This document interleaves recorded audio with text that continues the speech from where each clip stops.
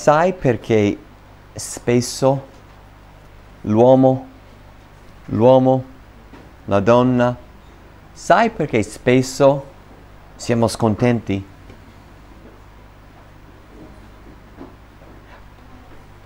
Perché spesso siamo scontenti? Tu sei mai scontento, scontenta? Capita mai che tu sei, sei scontento, scontenta dalle volte? Perché? Allora, ci sono vari motivi tutti legati insieme.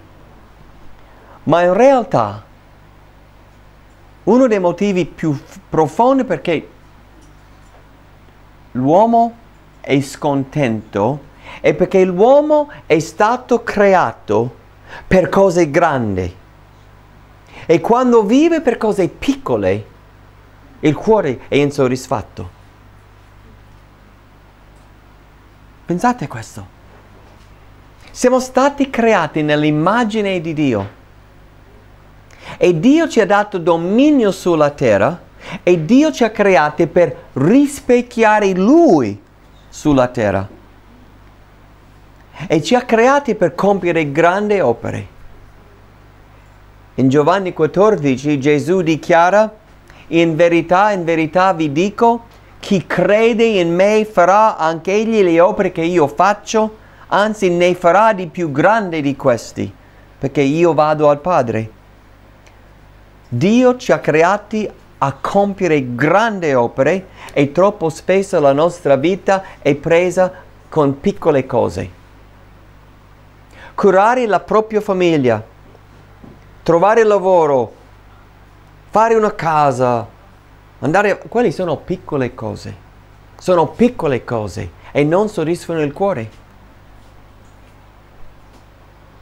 Il nostro cuore non può essere soddisfatto se non viviamo per le grandi cose per cui Dio ci ha salvato. Allora uno potrebbe dire, eh ma io sono una mamma con quattro figli piccoli. Eh, come posso fare grandi cose? Crescere quattro figli a capire di Dio è una grande cosa. È una grandissima cosa, immensa. Quali sono le grandi opere che noi possiamo compiere che daranno vero senso alla vita? Lavorare? Farmi una casa? Avere un lavoro stabile? Quello? Quello è una piccola cosa. Quello è una vita sprecata. Quali sono le grandi cose? Le grandi cose che noi possiamo fare sono di essere usati da Dio per portare frutto che dura nell'eternità. Se uno costruisce grandi case, in 1889, 1889 c'erano gli operai che si erano messi da fare e hanno fatto una casa, ma metà del quale è là, su quel lato. Allora, la vedo da qui, una casa diroccata, costruita nel 1889. Quanto vale quel metà della casa oggi? Davide, sei stato dentro qualche volta? È una grande casa, stupenda, meravigliosa, vorresti abitarci in quella condizione? Però all'epoca era una casa signorile. All'epoca era una delle case più belle della zona. Adesso nessuno vorrebbe andare a viverci. Era una cosa grande. Guarda la casa che abbiamo fatto. Adesso è una casa da buttare giù. Dio ci ha creati in Cristo per compiere grandi opere che durano nell'eternità. Stiamo studiando il libro degli Atti, in cui Dio sta facendo grandi cose tramite i credenti. Questi credenti hanno investito le loro vite in opere che portavano gloria a Dio e tramite loro Dio ha prodotto frutti che durano per tutta l'eternità. Nell'ultimo sermone, Atti 8, abbiamo visto Filippo che è andato ad una città grande, Samaria, ad evangelizzare e dice che c'era molta gioia in quella città. Forse centinaia e centinaia di persone sono stati salvati, non sappiamo il numero, ma erano in molti. Oggi vogliamo continuare in Atti, Atti 8, e specificamente vogliamo considerare l'opera di Dio tramite Filippo per salvare non una città, ma un uomo. Un uomo che abitava in Etiopia. Questo uomo era un funzionario della regina, quindi è molto possibile e direi quasi probabile che lui è tornato in Etiopia e Dio sia servito di lui di portare altri alla salvezza, ma di quello non sappiamo dettagli. Oggi vogliamo considerare la salvezza di questo uomo, l'eunuco. Quindi trovate con me Atti 8. Abbiamo già studiato la settimana scorsa da 1 a 25 che racconta la salvezza dei Samaritani. Allora riprendiamo la storia dal versetto 26. Ricordate che Filippo era appena stato in Samaria, una grande città, evangelizzando, vedendo tantissime persone convertite. Ricordate quello, è importante per capire il contesto. 26. Ora, un angelo del Signore parlò a Filippo dicendo, alzati e va verso il mezzogiorno sulla strada che da Gerusalemme scende a Gaza. Essa è deserta. Egli si alzò e si mise in cammino. Mi fermo lì. Ci sono varie cose da considerare qua, ma qual è la lezione più grande in quelle poche parole che ho letto? Cosa ved- vedete in quelle parole che è molto molto importante e da notare. Una cosa grande, strepitosa. Cosa vedete? State leggendo così come famiglia a pranzo. Cosa vedete in quel brano? Che parola, non parola, ma che parola, non è scritto la parola, ma Vieni, salto fuori dal brano, cos'è? Ubbidienza. Ubbidienza. Voglio considerare l'ubbidienza di Filippo. Dio comanda a Filippo di fare una cosa che sembra assurda. Gli dice, senza spiegare perché, senza dire perché, di andare più di 50 km a piedi non ad un'altra città dove serviva evangelizzare una città. Ecco, hai evangelizzato Samaria, adesso ti mando a Gaza, o ti mando qui, o ti mando... No, ti manda nel deserto, su una strada dove c'è pochissima gente. Ti manda lì. E Filippo cosa fa? Eh, ma perché? Ma perché mi manda lì? Ma ti rendi conto quanto è lontano? Eh, fa caldo, io devo camminare più di 50 km nel caldo. Lui non si lamenta, non chiede perché, cosa fa? Si alza e si mise in cammino. Subito. La sua obbedienza era immediata ed era completa ed è fondamentale per tutto quello che succede dopo.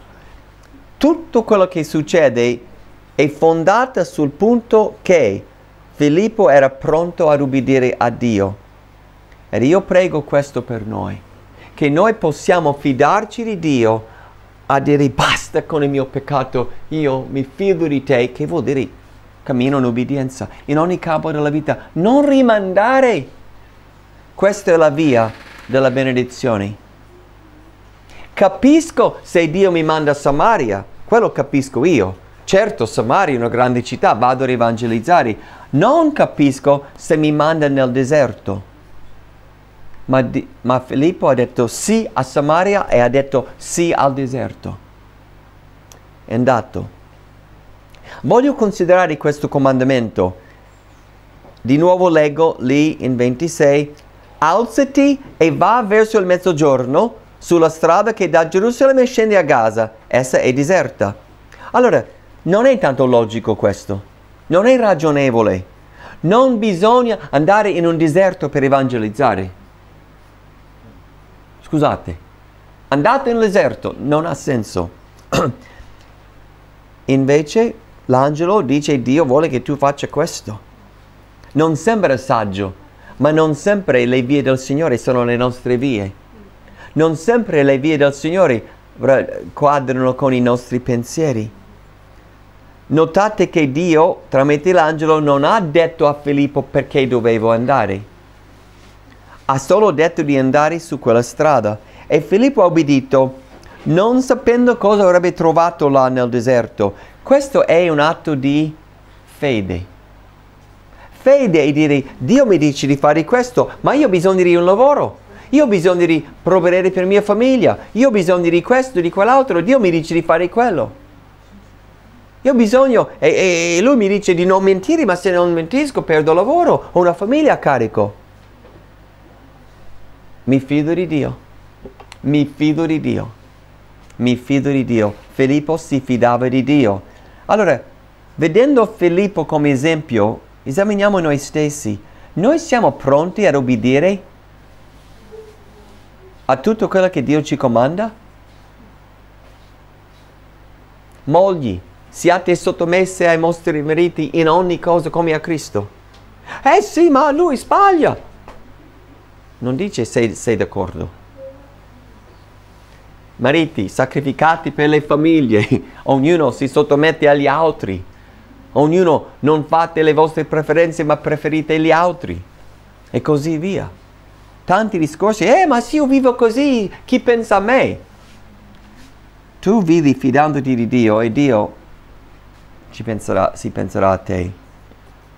Come rispondiamo noi ai comandamenti di Dio quando non sembrano avere senso? Oppure quando non sappiamo che risultato... Eh, ma dove mi porta? Cosa devo... Ma perché devo fare quello? Co- che Filippo non ha chiesto nulla di quello.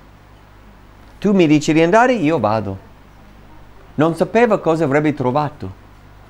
Si è fidato di Dio. Oh, che possiamo essere un popolo di fede. Signore, tu dici questo. Allora mi fido, faccio quello. La vera fede in Dio produce ubbidienza cieca. Tornando a Filippo, nonostante che la guida dello Spirito sembrava strano, anzi potrebbe sembrare non avere senso, Filippo ubi, subito ubbidisce e si mette in cammino per la strada dove l'angelo aveva detto di andare e vediamo che quell'ubbidienza immediata immediata, senza aspettare qualche giorno, era fondamentale per essere al punto giusto al momento giusto. Se avesse ritardato sei ore, sarebbe stato troppo tardi per la missione che Dio aveva per lui. Infatti, avendo ubbidito al comandamento di Dio, si trova a quell'orario lì nel deserto. Il tempo che ci vuole per camminare 60-70 chilometri lui parte e dopo 70 km se non sbaglio si arriva lì, ok, ecco la strada, adesso, adesso, leggiamo l'adesso, 26 in avanti. Ora un angelo del Signore parlò a Filippo dicendo, alzati e va verso il mezzogiorno sulla strada che da Gerusalemme scende a Gaza, essa è deserta. Egli si alzò e si mise in cammino, ed ecco un uomo etiope eunuco, un alto funzionario di Candace, regina delle Etiopi, sovrintendente di tutti i suoi tesori, che era venuto a Gerusalemme per adorare.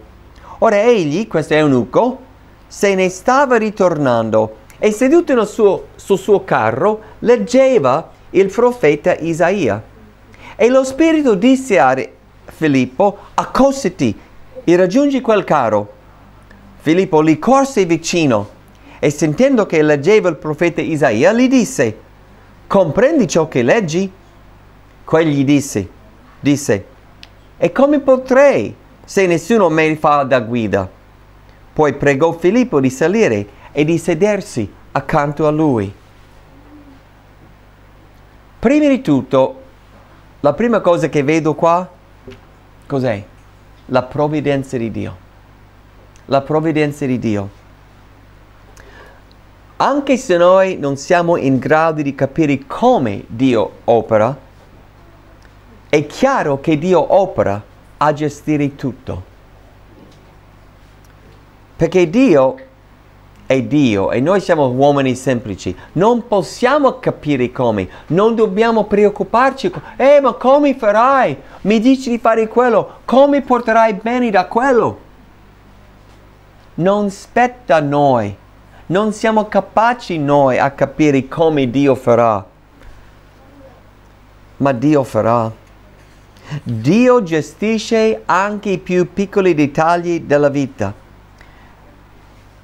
per Filippo di arrivare al punto giusto su questa strada lunga, proprio al momento che passava il carro. Statisticamente quanto è probabile che c'è una lunga strada e tu arrivi e sta passando un carro? Non è andare a mezzo chilometro da casa, 70 chilometri? Si vede Dio che gestiva tutto, l'angelo sapeva quanto velocemente, o Dio, sapeva quanto era la velocità di Filippo, ha co- calcolato tutto, calcolato le volte che doveva fermare per mangiare e bere, ha calcolato tutto e l'angelo è arrivato al momento giusto di dire vai, ok vado. E Dio aveva stabilito quello, quel eunuco partirà a quest'ora domani pomeriggio e lui inizia due giorni prima quello che sarà e loro si incroceranno a quell'istante. Incredibile. Questo è Dio.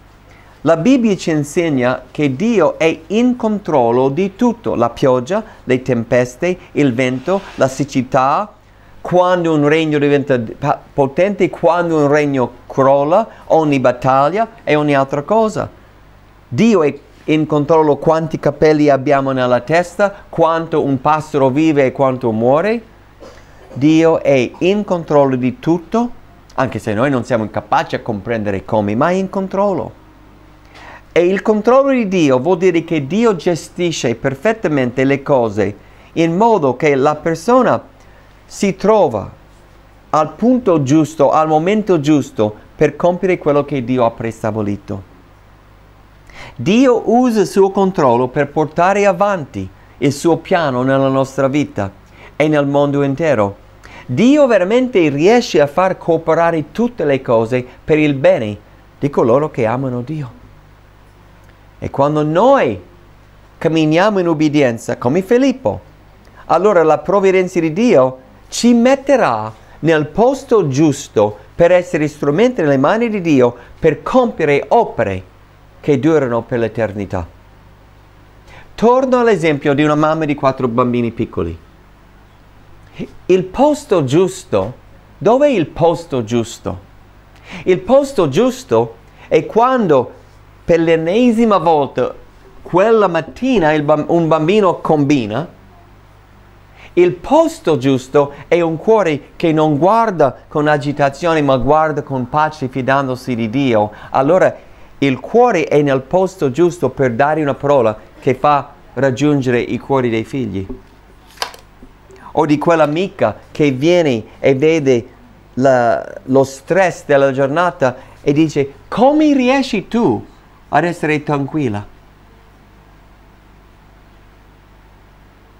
Il posto giusto non è sempre un posto geografico, è un posto di cuore. Ho parlato di un padre che ha un problema immenso con un figlio. Il posto giusto è di guardare a Dio, avere pace e avere pace in mezzo a una tempesta così. Così dice Romani 12, se non sbaglio, quando parla di amare i nostri nemici e così versare carboni accesi sulla loro testa. Il posto giusto è di rispondere con amore alla cattiveria e così diventare uno, uno strumento di Dio potente nella vita. Tu vivi nel posto giusto. O quando c'è cattiveria dall'altra parte, rispondi tu con cattiveria. E allora non sei nel posto giusto.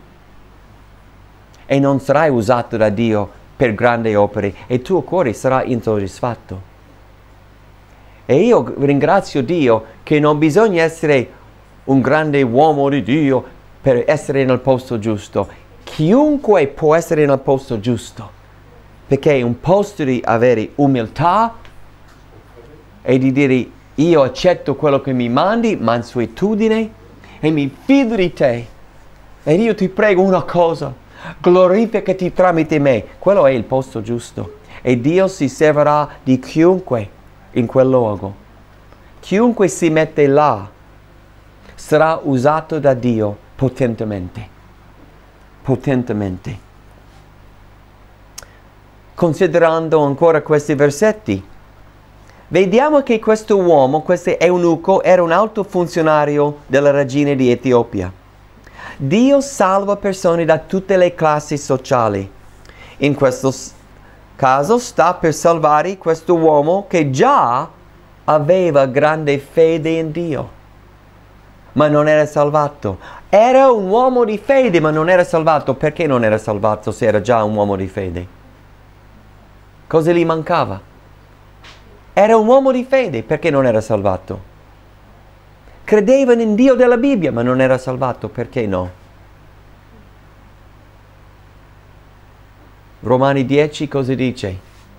Chiunque invoca il nome del Signore, il Signore Gesù, sarà salvato, ma come possono invocare colui che, in cui non hanno fede, possono avere fede se non hanno sentito di Lui?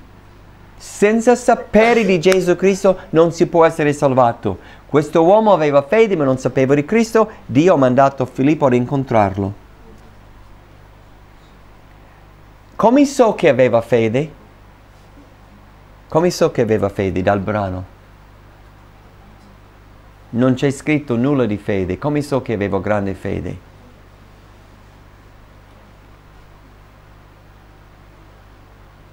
Non troverai la parola fede. Come so che avevo grande fede? Cosa faceva?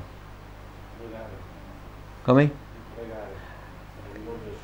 Sì, in quel momento probabilmente pregava sicuramente, ma lì non stavo pregando. Cosa stavo facendo? Leggendo cosa? Le scritture, Isaia. Una Bibbia all'epoca, come, come, si poteva avere una copia della Bibbia? Eh, come arrivava la copia stessa da dove veniva? Qualcuno doveva scrivere a mano. Non su un libro di pagine, ma su, come si chiama? Un rotolo. Quindi una Bibbia era una cosa costosa. Dove era stato questo uomo? Dove era stato? È scritto. A Gerusalemme per adorare. Quanto lontano è Etiopia da Gerusalemme? Più di 2000 chilometri. Lui ha fatto un viaggio in carro sotto il sole che picchiava più di 2000 chilometri per andare ad adorare Dio. Poi, avendo certi mezzi economici, perché era benestante, ha comprato almeno Isaia, se non tutto l'Antico Testamento, ha comprato. E lui lì nel carro aveva un servo che guidava, vedremo dopo, lui lì legge. Aveva appena lasciato Gerusalemme, non vedeva l'ora di leggere per conto suo. Allora qui c'è un uomo che cercava Dio. Un uomo che aveva fatto più di 2000 chilometri in carro per andare a Gerusalemme per adorare, aveva comprato una Bibbia, leggeva la Bibbia, tornando a casa, qui c'è un uomo che Dio aveva preparato. E grazie a Dio, oggi Dio sta ancora preparando persone. Anche se noi non possiamo sapere chi sono in anticipo. Ma Dio ancora prepara le persone che desiderano sentire. I loro cuori sono preparati. La nostra responsabilità è quella di essere ubbidienti in modo che quando Dio mi dice di stare là o là o là, che io ci vado. Mamme, stai là in casa rispecchiando Cristo, anziché essere agitate. Uomini, fate guide di casa in modo che rispecchia Cristo, anziché essere muso. Credenti chiunque, al lavoro, stai al posto di dimostrare bontà e pace e benignità quando tutti ti trattano male in modo ingiusto. Quello è il posto giusto per poter raggiungere le persone che Dio sta preparando. Allora Filippo aveva questo cuore giustissimo, si trova al punto giusto lì nel deserto, sulla strada, vede un carro E lo Spirito disse a Filippo, accostati a raggiungere quel carro. Filippo gli corse vicino, sentendo che leggeva il profeta Isaia. Gli disse, comprendi ciò che leggi? Guardate il cuore di Filippo.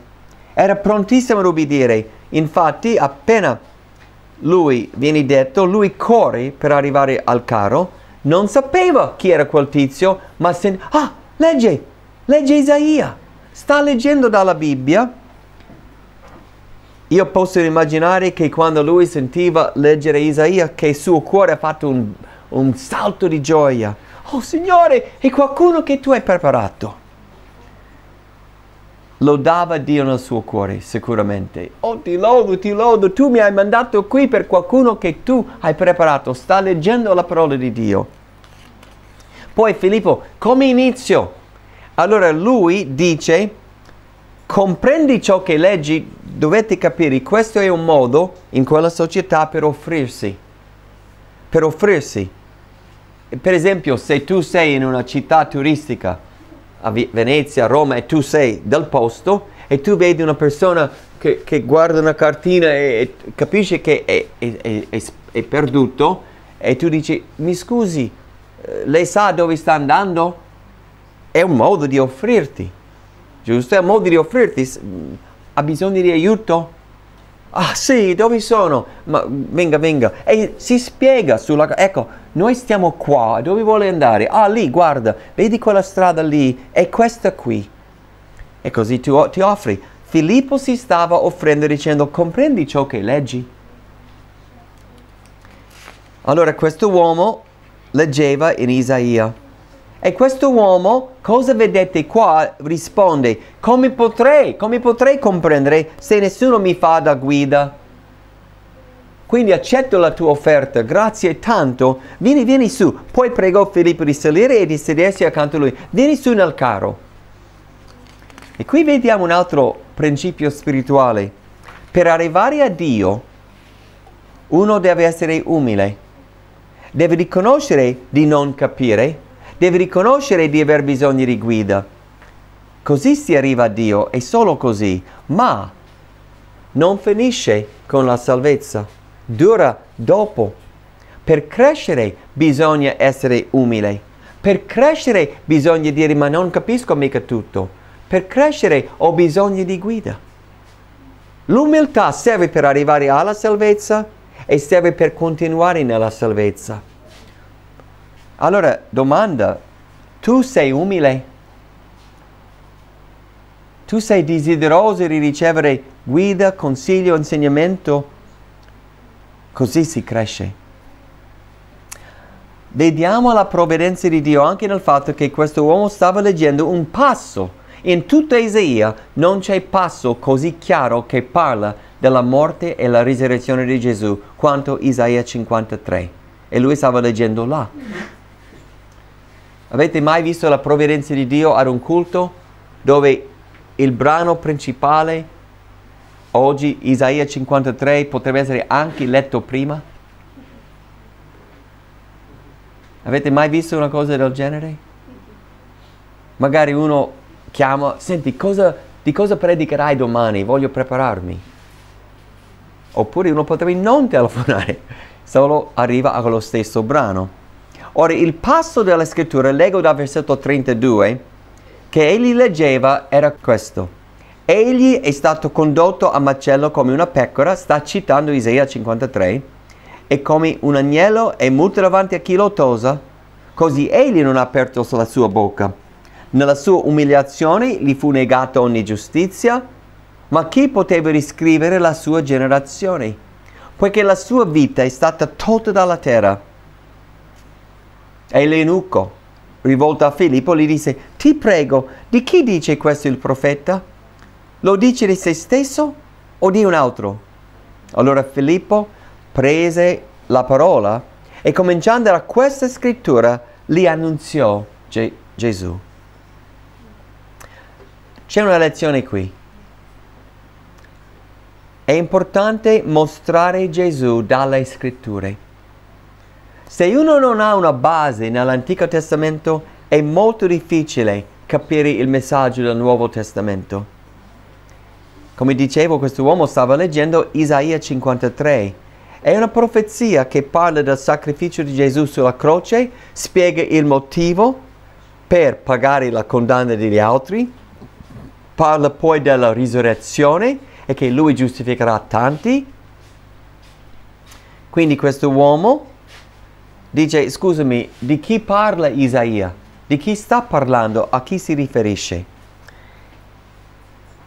Lo Spirito Santo dà il dono di insegnamento. Aveva dato questo dono a Filippo. Qui vediamo che questo uomo capisce di aver bisogno di insegnamento. Nel piano di Dio, noi non riusciamo a comprendere la Bibbia da soli, nel senso completo. Parzialmente sì, ma non da soli abbiamo bisogno di insegnamento. Questo è il piano di Dio. Questo ci aiuta ad essere umili.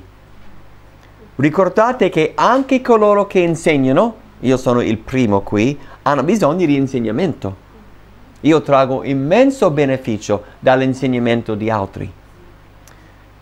La Chiesa, il corpo di Cristo, non è composto da tanti individui, ognuno indipendente dagli altri. Questa non è la Chiesa. Piuttosto la Chiesa è un corpo con tanti membri, tutti legati fra di loro. E tra la sua crescita quando ogni parte dà sua, dal suo vigore. Questo uomo umile riconosce io ho bisogno di insegnamento e così Dio provvede quell'insegnamento tramite Filippo e Filippo gli annunzia Cristo. Allora, abbiamo già visto, studiando Atti, qual è il messaggio di Gesù Cristo. Non spiego tutto qui oggi, però il messaggio in, in modo nocciolo è che Gesù, l'uomo, è Cristo, Dio incarnato, mandato al mondo per compiere la salvezza. Abbiamo visto che è stato mandato alla croce, risuscitato, e poi è diventato Signore, cioè è diventato proclamato Signore. Per mezzo del suo sacrificio giustifica peccatori. Questo è il messaggio di Gesù. In Lui c'è perdono, in Lui c'è la riconciliazione con Dio. Questo è il messaggio che Filippo annunzia a quell'uomo e questo è il messaggio che noi dobbiamo annunziare agli uomini, perché è l'unico messaggio che salva. È l'unico modo di essere perdonati e riconciliati con Dio. C'è un'altra cosa importante da notare qua. Questo uomo ha potuto credere in Gesù tramite una profezia dell'Antico Testamento. Abbiamo letto in Atti 1 e 2 e 3 che spesso gli apostoli usavano le profezie per mostrare che Gesù è il Cristo. Anche oggi gli uomini hanno bisogno delle verità, delle verità dell'Antico Testamento. Le persone qui capiscono Dio? Le persone capiscono Dio in modo corretto? No. E l'Antico Testamento ci rivela chi è Dio. L'Antico Testamento ci rivela Dio, il nostro peccato, il giudizio. Ci mostra che solo la morte viene accettato come pagamento per il peccato. Quindi l'Antico Testamento prepara la strada per il Cristo, Gesù, che troviamo nel Nuovo Testamento. Gesù è il Cristo profetizzato, Gesù è l'agnello di Dio che toglie il peccato del mondo. Quindi l'antico serve per dar senso al nuovo. Questo era quello che Filippo ha spiegato all'eunuco e anche noi dobbiamo insegnare le stesse cose. È un messaggio che bisogna spiegare dalle scritture. C'è un'altra cosa interessantissima, importantissima da vedere qui, mentre leggiamo versetto 36. Dice, mentre proseguivano il loro cammino, giunsero ad un luogo con dell'acqua e l'eunuco disse, ecco dell'acqua, cosa mi impedisce di essere battezzato? Mi fermo. Cosa si capisce da quello? Qualcosa di molto importante. Cosa possiamo capire da quello? Come mai questo eunuco sapeva di chiedere il battesimo? Il battesimo non c'entrava con il giudaismo. Lui era giudeo.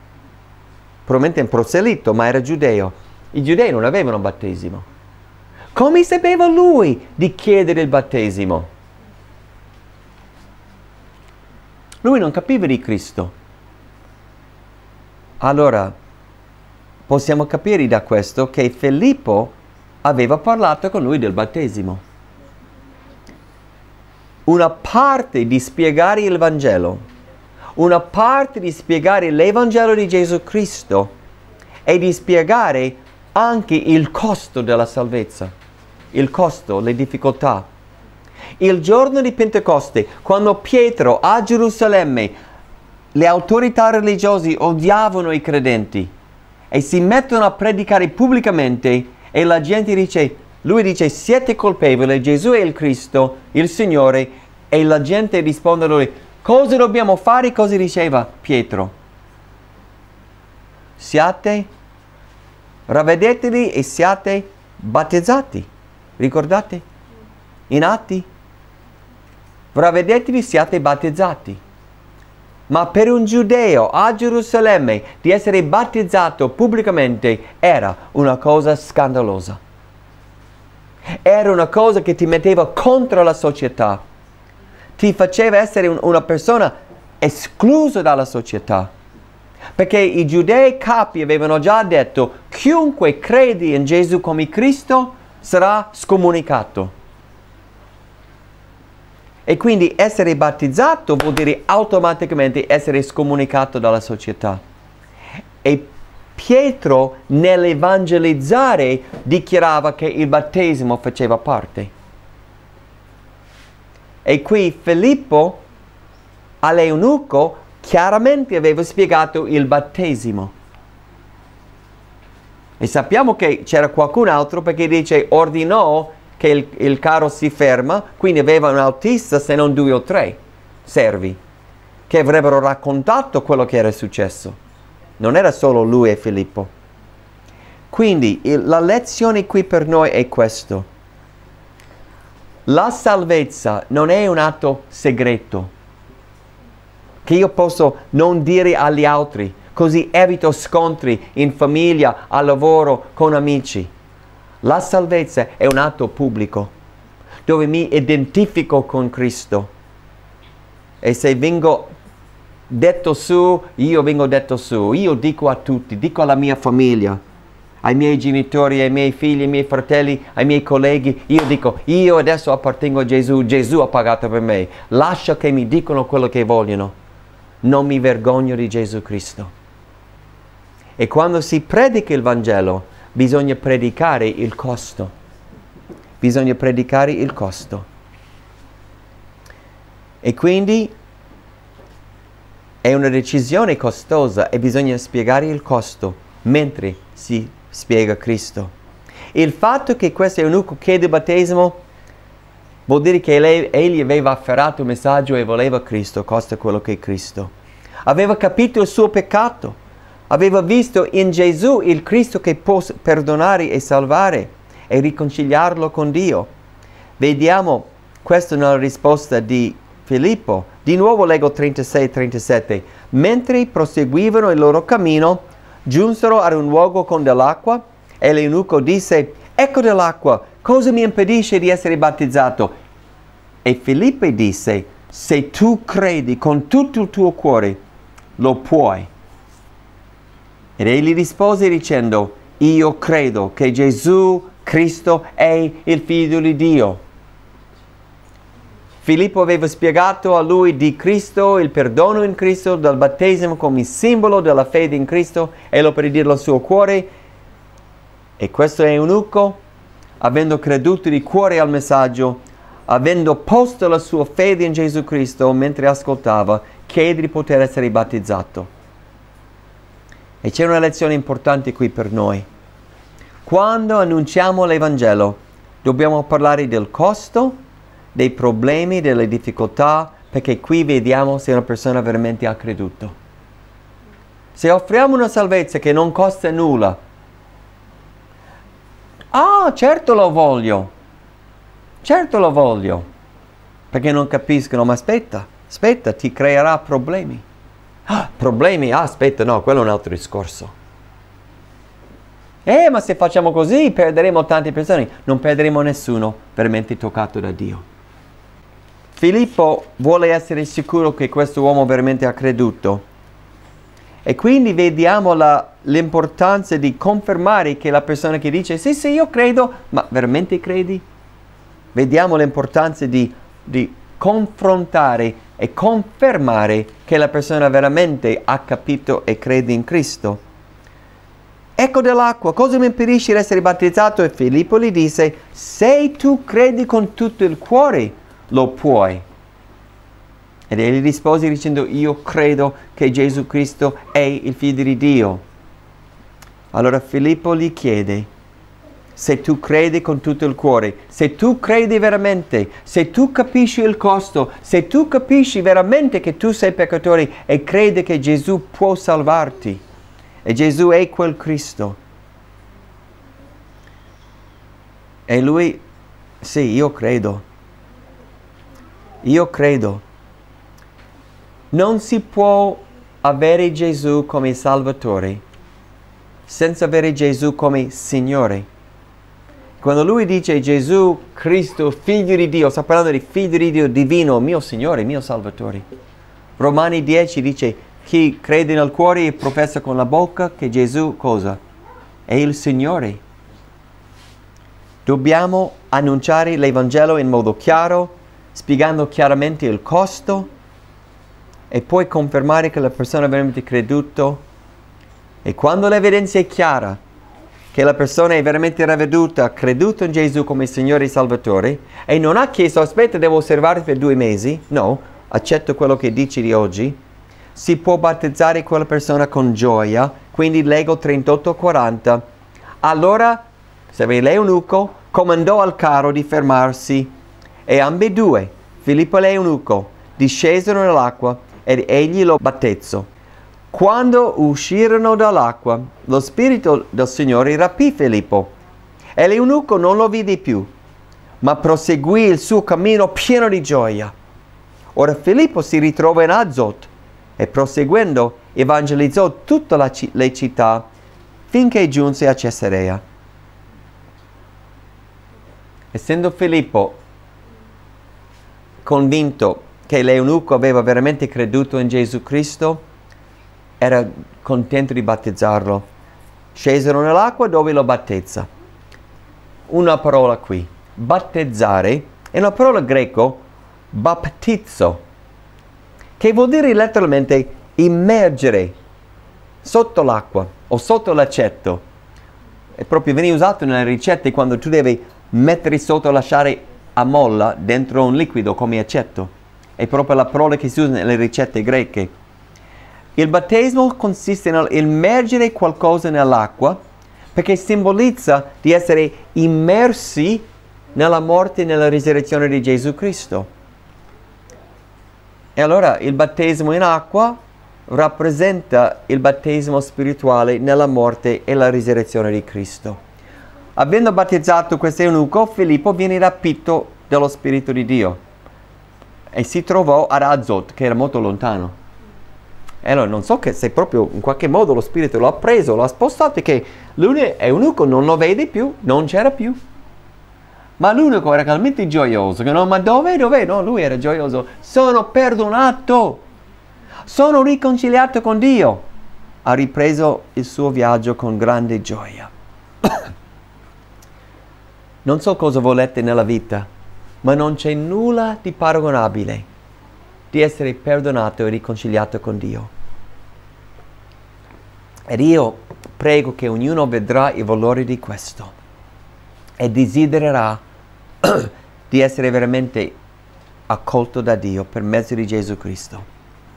Allora in questo brano abbiamo visto Dio continuare a portare avanti la sua opera di salvare nuove persone.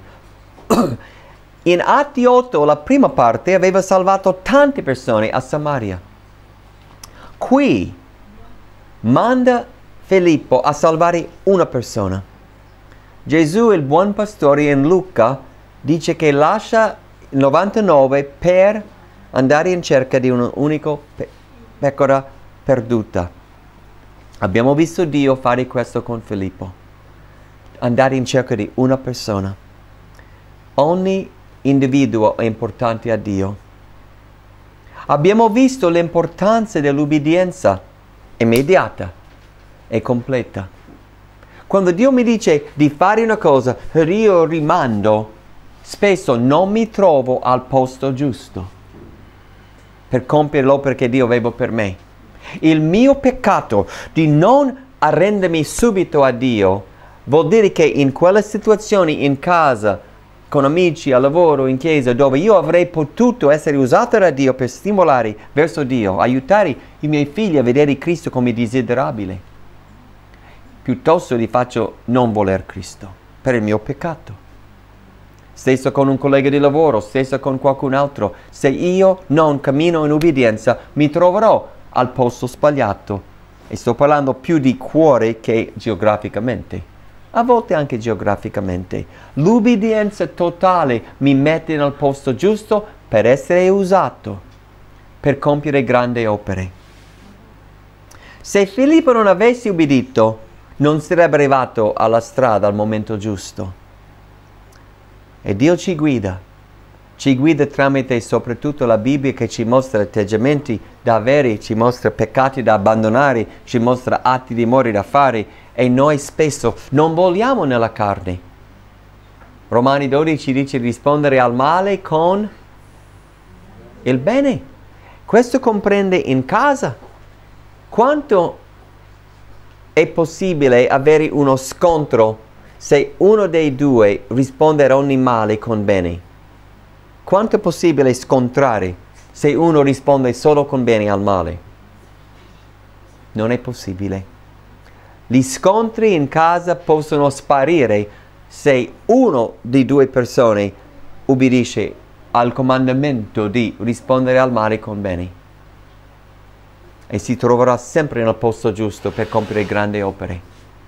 Non dipende, eh, ma lui, ma lei, non importa lui o lei, tu puoi essere al posto giusto di essere usato da Dio.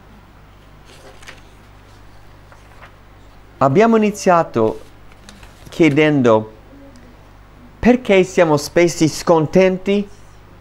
Perché Dio ci ha creati per grandi opere e spesso ci buttiamo a piccole cose.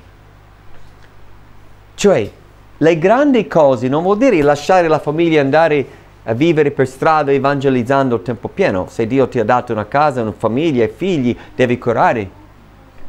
Servono passi, servono vestiti lavati, servono pulizie, servono tutte quelle cose ma io vivo per le cose terrene o vivo per la gloria di Dio? Perché se io ho il cuore giusto, se io ho umiltà e desidero insegnamento e ascolto Dio e sono mansueto, mi troverò giorno dopo giorno nel posto giusto di influenzare per l'eternità e la mia vita avrà vero scopo ed io posso essere usato per compiere opere più grandi di quelle di Cristo, perché lui si limitava ad una piccola zona per pochi anni ed io posso avere una vita di influenzare altri per Cristo, portare il frutto che dura nell'eternità. Giovani, cosa volete fare con le vostre vite? Qualcuno voleva costruire una casa nel 1888 e 9, ma quella casa non vale più niente non investite in qualcosa che alla fine non vale niente, investite in qualcosa che durerà per tutta l'eternità. Prego che possiamo rispecchiare Filippo nel nostro cammino. Preghiamo.